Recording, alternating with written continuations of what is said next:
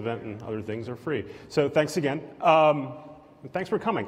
This is a new venue, um, but it's the same idea we've had for several years now. We want to take the most interesting and important people in media and tech and see what happens when we mash them together.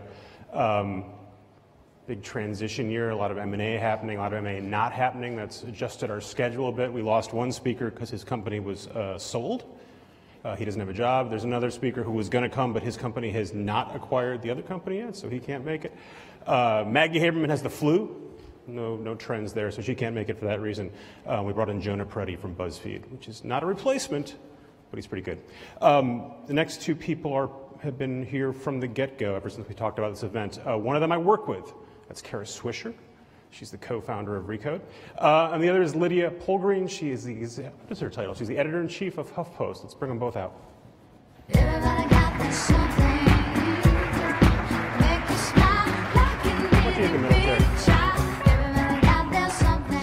forgot, to, I forgot to shake your hand there. I'm like an official. Thank Look, you. yeah. Thanks for coming. You too. Thank you. Uh, Lydia. Thanks for having me. Yeah, you're welcome. Yeah. It's great to be here. I mean, look, I know that uh, last year you had Hillary Clinton. Hard to top that, um, but I'm, you know, I, luckily I was available. Kofevi? covfefe. Yeah. you got it. Anyway, so let's get started. You've had, this, you've had this job for a year and change? That is correct. A little over a year, um, and it's been kind of a wild year. I It- was thinking you shouldn't take it. I was thinking it was a terrible idea for you to go run a content company owned by the phone company. Now it looks not so bad. Well, I think that any content company um, has to be thinking about the fact that all content consumption is converging onto mobile devices. And so it turns out that in 2018, um, probably the best owner you could have is the phone company. So um, I'm feeling really good about this convergence and in this particular moment where HuffPost is sitting. Let's be clear, you, you can make content that will go on any phone. You don't need to be owned by the phone company for that to work. That's true, but if you're owned by the phone company and you have powerful relationships with equipment manufacturers, if you have uh, great technology teams that are building uh, dedicated experiences for the phone, I think it gives you an enormous leg up. So explain that later, because I, I was part of you going. I mean, we talked about it quite a bit. Lydia and I know each other really well. Um, It's a little four- lesbian mafia. Yeah, a little lesbian mafia. Yeah.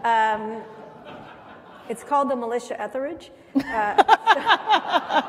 Come to my window. Uh, so, but we talked about it a lot. And there was, you know, you came from the New York Times, Mm-hmm. Yep. which was, you know, an old newspaper, kind of a, a traditional newspaper. and also now a very successful digital media company. Absolutely, apparently. Um, and you. Uh, Manifestly. They absolutely are. They're doing great. Um, but you were on your way up the masthead in sort of a traditional, and you'd been there since you were 12 or something Yeah, like that. something like that. Um, I, I'm not sure whether to say I'm sorry to encourage you have done that or not some days. I, you know what I mean when I think about all the changes that are happening there. But talk about what the problems of being part of a bigger company is. Now, we're owned by Comcast, I mean, not- investment by Comcast. So, you know. we got to re, gotta rewalk. We're not owned by Comcast We're not at owned by all. Comcast. No. Minority investor in Vox Media. I'm sorry, that, that was next week. Anyway, um, so, um, They always try to make news at these yeah, conferences. but, but when you're when you have that ownership, what are the what do you worry about at, in that? In you have Comcast owning NBC, you've got AT and T allegedly buying some companies at some point. Mm-hmm. You have yours. Talk about the problems you foresee as a content maker, because you are a content maker at your core. Absolutely, content maker at the core. I think um, the, the the biggest issue that any journalist would work, worry about is interference and independence, um, and that has just not been an issue at all. Uh, we've taken very strong stands at HuffPost on questions of net neutrality, written very critically about monopoly power and things like that. So our journalistic independence uh, has been sacrosanct, and um, you know, I honestly didn't really have any concerns about that going in. Um, I do think that looking ahead at a world in which the device on which we're getting our content um, also is owned by people who are making content. I think that there are real questions of free, free speech and um, accessibility, particularly in a world without net neutrality. And those are things that we're going to have to confront, confront and cover. Um, you want to be part of a vibrant ecosystem of information. That's what's good for democracy. Um, I would not, I, I would love for HuffPost as a business to have uh, some kind of privileged access to to pipelines that are built by Verizon, but I certainly wouldn't want that to be the case at the exclusion of other voices. What do, what do you think Verizon wants from you? Like, if you look at where they've been spending money on their content stuff, it's all video, video, video. It's Go 90. It's Yep. NFL highlights deals. it's an NBA deal. Um, you guys do some video, but it's not your thing. You're not- you haven't leaned hard into video. You have a lot of words. We, we have a lot of words, but you know, it turns out that words are actually a really convenient way to consume information. Um, you know, particularly news, and news is the um, uh, my one of my bosses, Simon Khalaf, likes to say that news is the dial tone um, of um, of media, and I always actually say to say him, that to you? he does, and I always say to him, you know, dial tone, you might want to think about a slightly more modern reference. But I think it's true. It's the thing that it's the thing that that gets people coming back every day again and again and again. And we do a lot of video. The the reality is we've seen a 300% growth since we brought on Shelley Venus as our head of video from Mic. Uh, we've seen 300% growth in our uh, um, in our distributed video, uh, 90% growth year over year on, on YouTube, for example. Uh, the level of engagement, I mean, our, our completion rate on our Apple News video, most people on Apple News have very low completion rates. Ours is up. I think above 40%. So, uh, so we're actually doing a ton of video, and I see HuffPost as being a really important laboratory for new ideas about how to create and. and So when you uh, talk about that video, what video works? Because you know a lot of the video is just, there- you know, some of them are great. There, there- Yep. there's a lot of interesting video, but it's not the traditional news video, and it's not some Yep. of it's you know more explainers or funny or different things. Like what works for you guys? Well, we find we, we've been experimenting a lot with different formats. Um, you know, we have a, a great new product that we created called the Post Show that is two people talking about the Oscars, two people talking about the Grammys. Um, huge engagement. A lot of people want to watch. A lot of people want to engage with it and send in questions and things like that. Um, you know, We've done a lot of the same sorts of short video, um, you know, video with text on the screen. That does great on social. I think no one monetizes that stuff. It's great for getting your brand out there, but ultimately it's not really what you're about. Uh, we're making some long-term bets on um, documentary-style video, um, things that are, um, you know, 30, 60, 90 minute length. Um, we'll not ready to talk about the subject matter yet, but um, keep an eye out for that. So we're, we're, we're trying a lot of different things and playing in a lot of different spaces, and we'll see which one of them um, turns out to be most exciting for us. You mentioned social. We're going to have the folks from Facebook on directly after this. Um, everyone's aware there's a lot going on at Facebook. Um, how are the, the shifts that they've made and the shifts that they've announced affecting your business? I think that the um, I think that there's likely going to be some period of uncertainty. I mean, as of right now, it's essentially had no effect. Um, but I think what we're what, what we've been told to expect is lots of turbulence, lots of changes, lots of tweaks that may have big effects, small effects. But like most publishers who are producing original content that's you know deep original journalism. Um, We've actually seen a significant um, um, decline in how much of our traffic is coming from Facebook, and it's been made up by the resurgence of, of Google. And that as was a prior to major- the oh, announcements. long before, Yeah. yeah. And for us, I would say Apple News is actually, in some ways, a more important platform. Um, and Apple News is a place where people actually intentionally go to to uh, consume news. So, um, so we've actually had tremendous success there. And the, and the story of HuffPost has really been one of surfing the waves of content disruption, right? I mean, it was first it was Google, and they surfed that they surfed the hell out of that SEO wave and became the number one um, SEO publisher. Uh, what time is the Super Bowl, everyone? Um, most famous headline of HuffPost history. Um, and, and then social comes along, we become the number one publisher on Facebook. Um, now, Apple won't say this, but I think we're pretty close to being the number one publisher on Apple News. And, um, you know, that's the superpower of HuffPost is the ability to make really great content that resonates with, with our audience wherever they go. And so we feel really good Why, about our ability. why did that fall off on Facebook? From sorry? your- how, did, how come it? Did you pull back your efforts or did you? I think it's a mix of factors. I think it's partly that it wasn't necessarily the place where we where we felt we were going to find the audience that was most interested in what we were doing. I mean, we follow like all modern digital media companies. We follow where the audience is going, and um, as as Facebook became less and less a place where people were going for news, we started to put our efforts elsewhere, and we really invested in Apple News, and we really doubled down on SEO because it turns out that SEO is really important. Um, so, for example, uh, entertainment is a really big part of what we do, uh, lifestyle, uh, cultural reporting. So we've we've made some long-term investments in um, our coverage of, of streaming shows. And it's really service oriented journalism for people who are like, what should I watch? Um, Like and- what's on Netflix this month? That's yeah, stuff? yeah, that kind of stuff. And um, so laying that groundwork and having a smart strategy about how you're going to really be there and serve your audience with the information that they need when they need it and when they're looking for it, I- think that's much more reliable than um, sort of surfing the uncertain, uh, a lot of surfing talk. I think it must be the location. But when you're saying uh, the uncertain, what was was the fake news stuff and other criticisms of Facebook also impacting? And how do you look at that? I mean, Well, you covered it. Yeah, no, I mean it's a huge story for us, but um, you know, I think I think that for us, Facebook, both from a monetization perspective and also as a place for us to connect with our audience, um, has just not necessarily been a particularly reliable partner. Um, and I think that that's I don't know that that's necessarily Facebook's conscious doing, but it's just the reality of how their business works.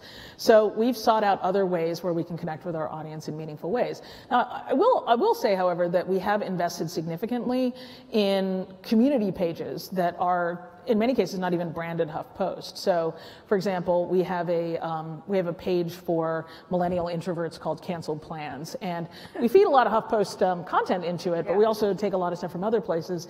But it's basically for us a petri dish in which we can understand is this an area where we really want to invest in doing more journalism? Um, you know, we have one for millennial Muslims called uh, Tomorrow Inshallah. Um, we have a, a, closed Facebook group called So You Want to Raise a Feminist that sprung up out of our parenting coverage uh, post 2016 election. And those are really important places for us to understand our audience and to develop content strategies around subjects that we, we think we want to invest in. You're the, you're the, I your title at the beginning. You're editor in chief. That is correct. You're the second editor in chief at HuffPost. I am. First one is named Arianna Huffington. Her name is on the Her, master. her name is her name is is is in in our name. So Yeah. how do you, when you take over something like that that is literally identified with one person, how do you go about over a year saying we want to do something new, we want to keep some of our old audience, we want to do new things? How do you think that through? And, and let me add, you've gotten rid of much of the old management, correct? Well, there's definitely been some some turnover. I mean, there are people who who You turned them over. to leave. Turn them, over. yeah. Well, There's there have been some departures. mistakes were made. Yeah, there have been some. There's been some departures. I mean, look, Arianna created an extraordinary brand. You know, um, when I worked for the New York Times, I used to go all around the world, talk to people about media brands, and the fact that HuffPost was as ubiquitous as the New York Times, which has been around since 1860 something, is a testament to the power of the thing that Arianna built. Um, and all companies uh, that are founder run, I think try to figure out how do we save and keep what is most important about the DNA of this thing in order to give it life after the founder leaves. And I think it was a really it was really an open question. What does a post Arianna uh, Huffington Post look like? Um, and you know, I knew coming in that I that there were certain things about HuffPost that we really wanted to preserve, and Such you know, as? Keeping keeping audience at the center of it, um, elevating voices that are that don't usually get a platform. Um, trying really thinking about the wholeness of the person uh, that dedication to helping people live really fulfilling healthy lives. Um, those kinds of things i think are really essential to our identity and so th- those have remained.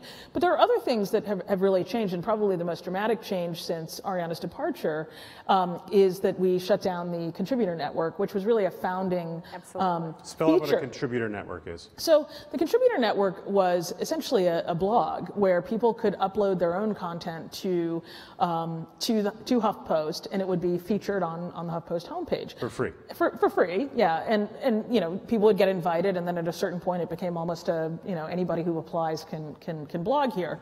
And circa 2005, that was a revolutionary concept. Um, the idea that a, a that there would be a platform of that kind, um, and people often forget just how influential it was. I didn't realize this until I went back and revisited a lot Ari of the history. Emanuel thing around the. Ari Emanuel thing, uh, but but when Barack, when candidate Barack Obama wanted to respond to uh, the the allegations about his former pastor, Reverend Wright, he chose to blog on, on HuffPost, um, then the Huffington Post. And so it was, a, it was a thing that had an enormous amount of cultural currency and weight at the time. And but now, fast forward to 2018, we, we actually have an, a surfeit of um, platforms in which people can express themselves, and we have the opposite problem of just complete cacophony. There's so much information out there, and we, as a, as a, as a newsroom, found that there was tremendous confusion about what is contributor content, what is actual journalism that's been created by the HuffPost newsroom. And so at this point in our history, it seemed to make sense, particularly in the environment of fake news and all kinds of um, all kinds of nastiness that's going on in our business. And the payments issue. And well, well, and that and, and for me that that was also a critical one. Is that if we wanted to increase the um, if we wanted to increase the quality of work that we were getting from our contributors, we would need to commission pieces rather than just say, if you want to write, write. And uh, it's my personal belief that if you commission someone to do something, you, you have to pay them for it. I mean, I'm it- all for getting paid for work, and I think that's a good idea, and I think content is a good thing to pay for. Um, but you know, the other reason that, that, that people like the idea of contributor networks, Forbes.com still has them, and I think Tronc was going to have one, I assume, is that they do generate a lot of content that you can put ads against. Did you, when you told the folks at Verizon, we're going to cut off this content making factory that we have, did they push so back? little couple of numbers for you. Um, the piece, the, the pieces that we've done on the two sections that we created that are these paid and commission sections, one's called opinion, which is a kind of traditional op-ed page, and the other is called personal, which is really fir- really about first-person storytelling and, and what we're calling person-first storytelling, as told to, things like that. We're on track to exceed the um, number of uh, total number of page views by um, as much as 25% in our first month uh, from what we got from the uh, the contributor network. And you're talking about a tiny, tiny fraction. I mean, there were thousands of pieces that would come over the transom into the contributor network every month, and you know we're doing maybe 100 um, altogether, and we're getting the we're getting 25% more traffic from doing that 100 pieces. So, you get better content We get, we get better eyeballs. content that gets more eyeballs. Now, the average piece is getting over 50 times uh, the uh, number of page views than a contributor piece used to, the average contributor piece used to get. So to me, it just, I don't understand how anybody thinks that you're going to get scale out of publishing stuff that doesn't necessarily Meet. find an audience. Right. You know, That's, that's Facebook, right? It's full of free content, right? it's full of free Populated by 2 content, but billion it's free content that's that's connected to people that you know. So it's free content that presumably will be relevant to you. Um, I mean, look. The, the idea of taking a bunch of content and throwing it up on the internet and, and, and charging for advertising alongside it is a, a very like 2007, 2008 business model. Um, there, there is essentially no business in that kind of scale without real definition, a real, a real sense of who your audience is, a deep relationship with that audience, and something that you can sell. Um, it's, it's just not, you know, I mean, we're part of Oath, right? And Oath has yahoo.com, they have AOL.com. We touch over a billion consumers every month.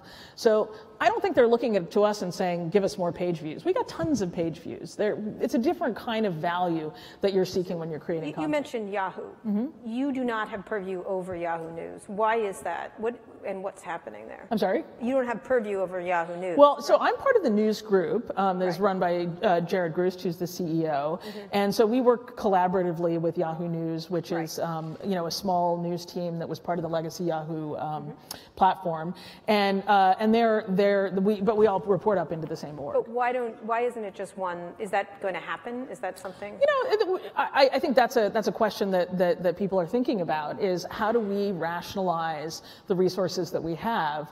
Um, you know, you've got HuffPost, you've got Yahoo News, you've got Yahoo Entertainment, you've got HuffPost Entertainment, you've got Yahoo Finance. There's a lot of different brands, and look, you know, we're just a little more than six months into this, so I think that there are some there are some um, questions that I think are going to get ironed out eventually. What but would you um, like?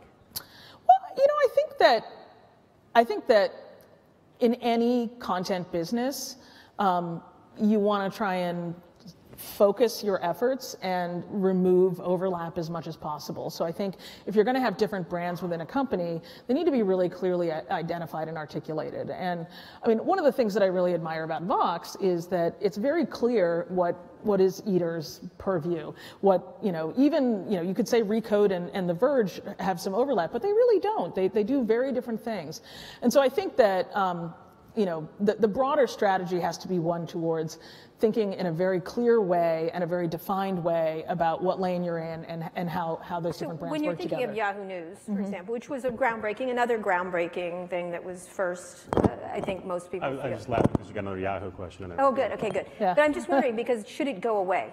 just the way the contributor network did? Um, Or do you see it Well, I, no. I mean, I think I think you know, there, the, Yahoo News is basically two different things, right? Um, Yahoo is a uh, remains. I know people don't. People think, oh, who has it? Lots of people go to Yahoo every single day. They have it as their as their homepage.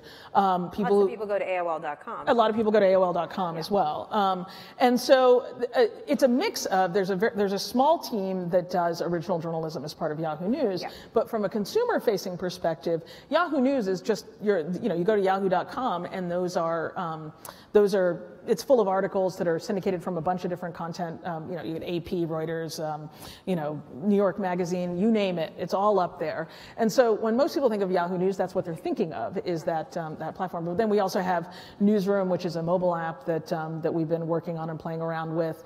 That again is is is filled with content from all these different places, and then all the different All, all this stuff well. you make and the folks at Yahoo make as well, it's all free, right?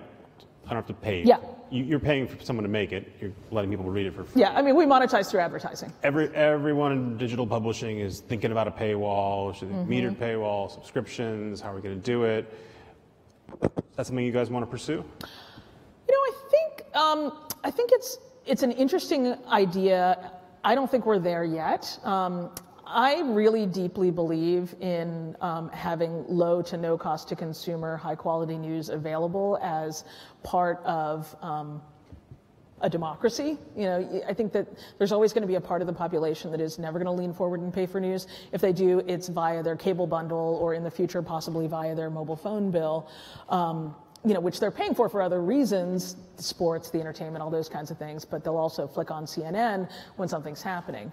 Um, so I am very committed to the idea of free to low to no cost uh, to consumer news. And uh, given my druthers, I would love for HuffPost to remain as free to no cost to consumers as possible. Um, is there a scenario in which we develop a, a paid product? Sure. You know, is there a scenario in which we develop some sort of a membership strategy? Absolutely. Um, but I think it's a little bit of a ways off, and it's. Are you working on one now or just mulling it? We're just mulling, Mulling? Mulling? mulling. So we're going to add you to the list of people who want to charge something for something.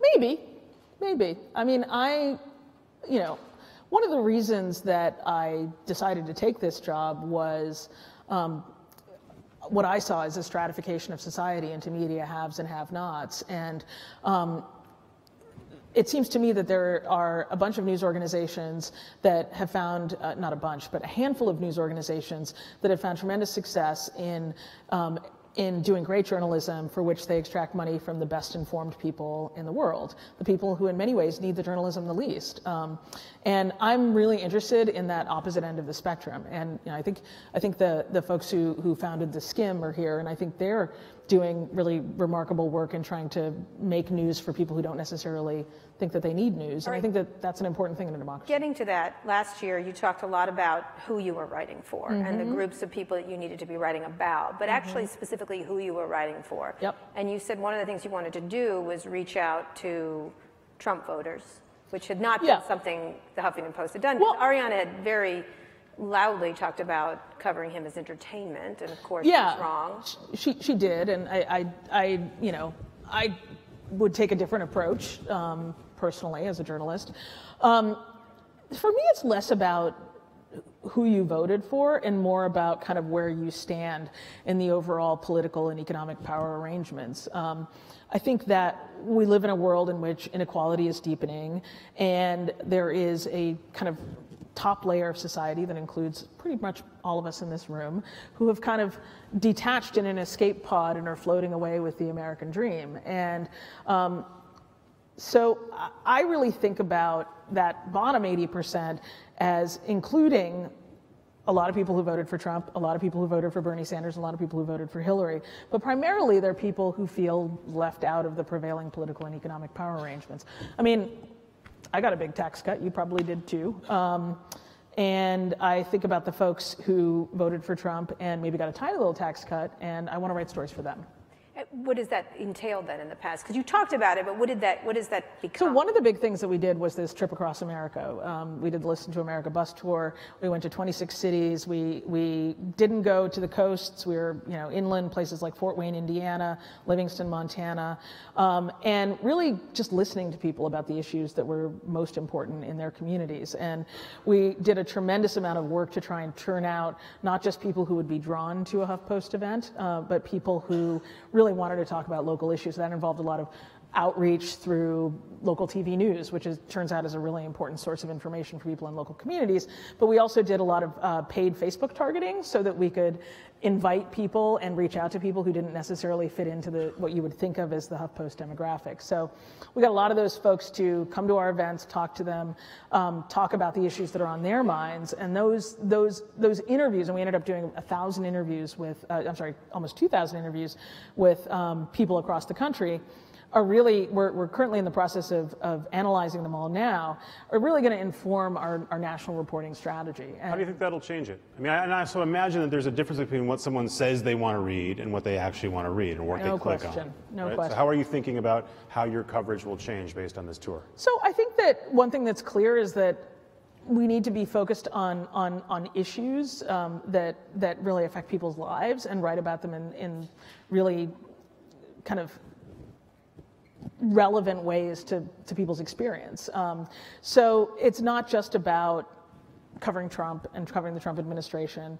It's not just about who's going to win in 2018 um, and, and those kinds of things, although those, those stories are really important to a significant part of our audience. But, you know, we found that there's tremendous interest, for example, in our coverage of the opioid epidemic, which is like a lot of, a lot of people are covering the opioid epidemic, but we've really taken a kind of service approach to it and writing coverage that's aimed at helping people who are dealing with it and creating communities and newsletters and things like that. So it's less about this is the style of story that we need to do than it is about this is the kind of relationship that we're going to have with our audience and it's fundamentally one of service. Um, and, and that's for me really the, the, the for rather than about question. You know when a big national news organization goes in and does a story about coal country or does a story about we just recently did one about air pollution in orlando it's really to report back to folks on the Upper West Side or folks, folks in Pacific Heights about what's going This on in that it's like place. this is what it's like out there.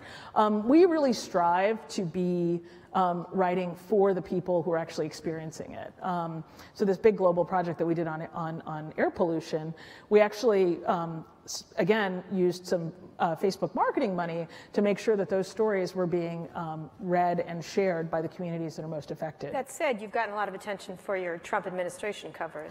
Sure. I mean, I think I think you know the great thing about HuffPost, and this I think was something that didn't that didn't really need changing, is that it has really really strong political coverage, um, and you know our team in DC, uh, you know they get great scoops. Um, they're really great at defining um, what the most important issues are and saying, don't look over there, look over here. Um, we also have a great team on um, on the Hill that you know Matt Fuller has the Freedom Caucus wired. He you know we've got a, a, a team that does healthcare like nobody's business. Um, so you know I'm incredibly proud of our Washington coverage, and most of what I've done is said, you guys keep doing what you're doing. You're awesome. So um, you know I, think I think that that's a that's something that we're getting from our audience is is, is signals about these are the things we really care about. Strong interest in all of the issues around voting rights and gerrymandering, strong interest in criminal justice, strong interest in healthcare. Um, and so we get those signals, and the entire newsroom now is, is really organized around those subjects and going out and chasing them in a really meaningful way. Do you think the media is too much? I found myself for some reason on Fox News last night um, on I watch it all the time. But do you do you think they, and se- several of the other panels was like the media is too obsessed with all the ins and outs of the Trump administration? Do you think the media is, or It or that on, it's it depends on how you define the media, right? I mean, so I, I look at the New York Times. They have, you know, something like 1,450 journalists, and I think that they, it's absolutely right and correct that they expend considerable time and resources, given the scope of what they cover, to bring us the Maggie Haberman scoops. Um, I'm incredibly grateful that they do that. I don't feel like it's our job to compete with that. Um, and I think that when you look at the overall ecosystem, different media organizations have different roles to play. I don't feel like that's our role to play, but I'm grateful that others are doing that. But do you think it. the entire media is doing that too much? Because No. I mean, there is a point to be I mean, made. I, maybe, but I, I'm also just, I'm, I, it's, it's not a question that really interests me, I guess, you know, because I just think that, I think that each of us needs to think about our own newsrooms and what we can do to provide something interesting and um, impactful. And I think it's really important that we know what's going on in the White House, and I think that there are a handful of reporters. I mean, you know, Josh Dawsey at the um, uh, Washington, now at the Washington Post, just a machine. I love reading those stories, and I think they're really, really interesting, and they're important, and it's important for the historical record. But it's also not the only thing that these news organizations are, are doing. I mean, they're breaking stories left and right. I mean, you look at Politico. I mean, what a what a year Politico has had. I mean, they, I think they forced out two, maybe three uh, cabinet level. Um, and, and, I, and I think that I, I would, I, I don't think it's my place to say to, uh, to Carrie Budoff Brown, you're putting too many resources into covering the ins and out of the administration, given the scoops that they're Tim, getting. Tim Armstrong's coming on stage tomorrow. If Tim Armstrong gave you a blank check and said, go do more of whatever you want, what's the next thing you pour a ton of resources into? Um, two things. Uh, one is i we're, we're really excited to expand our, uh, our service journalism because I think that that's actually something that's really important to people and makes people's lives better. And I think of service as not being like what dress to wear, but it's, you know, how do I deal with the fact that I'm part of a generation that is facing a really horrible economic future? How do I make sense of that? Um, so that's one thing. And the other is investigative journalism. I'd love to expand our footprint in investigative journalism. That hasn't traditionally been a huge part of what HuffPost does, but I think we could do extraordinary things with it. And, and, and then finally, I think spanning across all those things is, is video. You know, let's create the next version of 48 hours or 60 minutes. Let's, um, you know, let's make documentaries that we distribute on Verizon platforms. so how much money do you need? I, you know, I'd, I'd settle for, you know, 50 million. All right, we'll work on it. Questions from the audience? Questions? Anybody? There's initial shyness, and then they get up, and if they don't, we'll keep asking Lydia her own questions. All right. Very shy. Um, I- I'd like to understand, get more into this coverage of how the media is seen. There's been, well, I want to get into Me Too, too, because you, actually, let me do that first. Me Um, Too. Me Too. Um, you guys have done an awful lot, Yashar Yeah. and others. How do you look at that story and where it's going? You see, you know, there's blowback, and now, and then there's yet another story, and then there's, you know, Yep. now Oxfam right now in, Yep. in Britain is now blowing Yep. up as a big story. How do you look where, where that story goes? So we've focused on two aspects of it. One is um, the enablers, um, and media is a big part of that. So a lot of the work that that um, that we've been doing um, with um, you know Yashar Ali, who works for us, um, he's a sort of a super freelancer um, who he works for a few different people, but mostly for HuffPost. Um, he's done a lot of really great work on the media infrastructure that protects a lot of these abusers.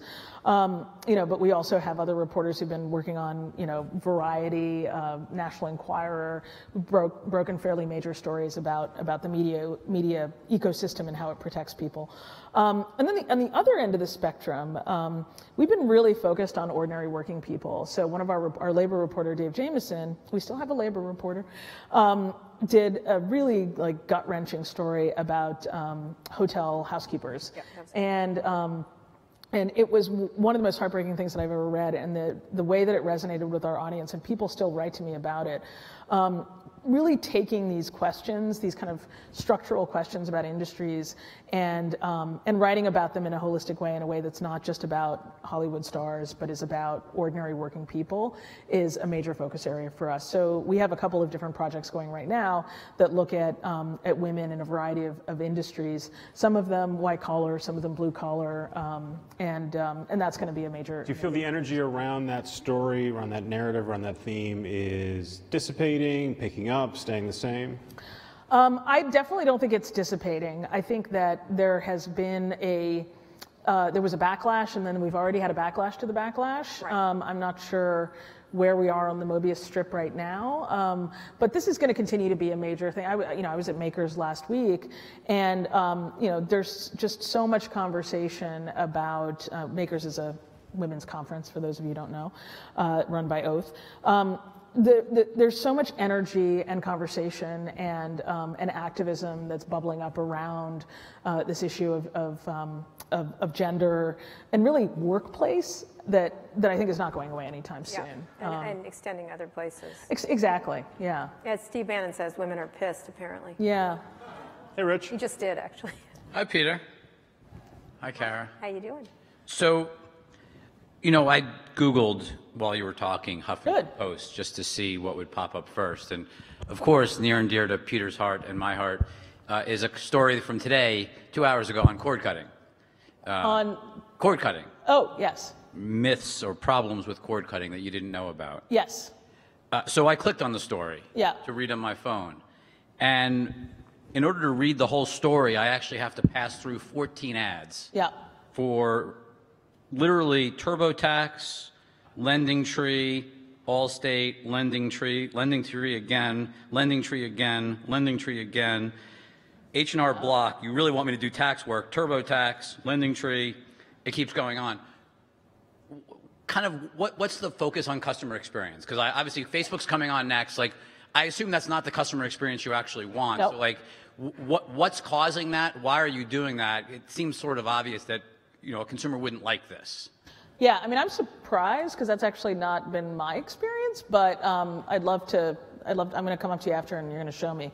Um, but I think, I think the reality is that we have not invested enough in making sure that our customer experience is the best one that it could possibly be. Um, and we need to fix that. So I'm glad that you raised it. And I think that advertising needs to be smart in order to actually get through to people. And clobbering over the head like that, probably not the best way to do it. Could you just maybe take one second and just define, or a couple of seconds maybe just define what you mean by advertising needs to be smart? Oh, um, I mean, I think it.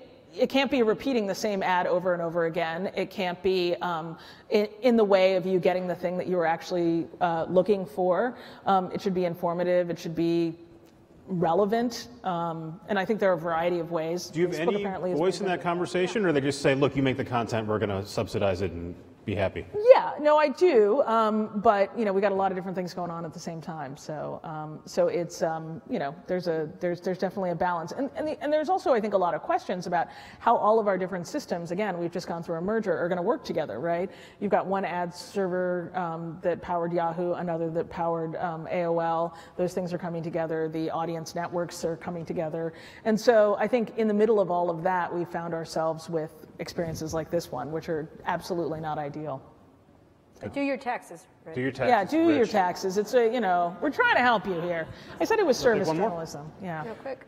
Yeah. But speaking of, of advertising in, in publications, does anybody in your experience do it in any way that is even halfway acceptable to the user? I mean, it feels to me that whether it's the folks here who are organizing this conference or virtually anybody else, when you, when you think about free free content for the consumer, which is something you, you really embrace and makes a ton of sense to me, it appears that there's very little questioning in the media industry of any business model beyond either advertising or subscription.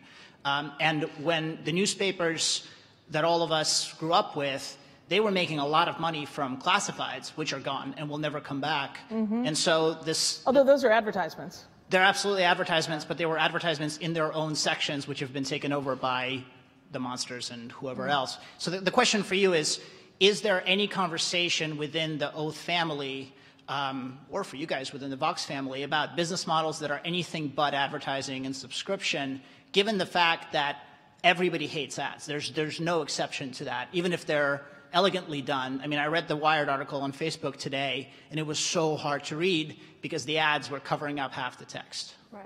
Uh, personally, I don't hate ads. We like you them. hate ads? No, we I love hate them. them. I've just been in a war with the New York Times over their gay shirt ad that comes to me. They have a gay shirt? Yes. I get it. Just me, I guess. I don't like the Zappos ad that tells me to buy the shoe that I just That you bought. already bought? Yeah. Yeah. I don't get that. Yeah.